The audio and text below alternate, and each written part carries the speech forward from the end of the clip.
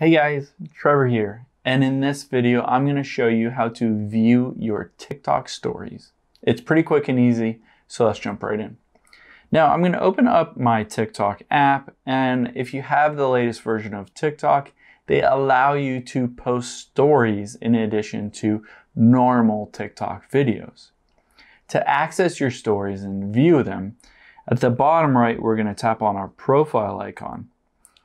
And now you can see right next to all my posts, the very first one is stories and it has a parentheses too. Now, if you have archived stories on here, it will show up in the same place and you can tap on them to view any of your archived stories. So I'll tap on here and it lets me watch those, those two different stories that I posted.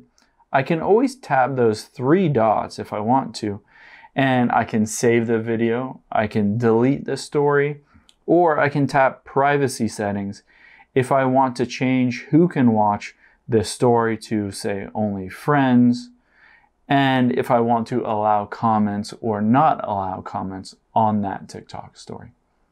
Hope this helps. Let us know if you have any questions in the comments below and make sure to subscribe. Thanks.